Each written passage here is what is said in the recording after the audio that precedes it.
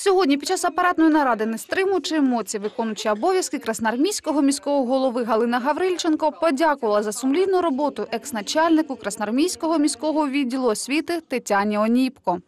Я хочу сказать огромное спасибо вам, Татьяна Михайловна.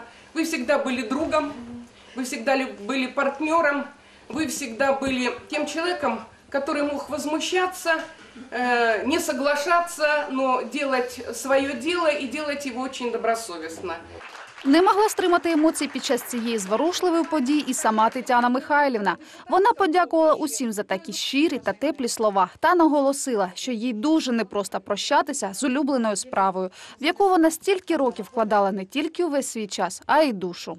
Всем спасибо вам за поддержку, за внимание, за решение вопросов в пользу детей, в пользу участников учебно-воспитательного процесса. Ну и сразу скажу спасибо моим коллегам, учителям, руководителям дошкольных, внешкольных учреждений школ, потому что невзирая ни на что и вопреки всему, система работала стабильно. А від сьогодні, згідно з розпорядженням, виконуючої обов'язки красноармійського міського голови, керувати відділом освіти буде Олена Мордвінова, яка тривалий час обіймала посаду заступника начальника відділу освіти.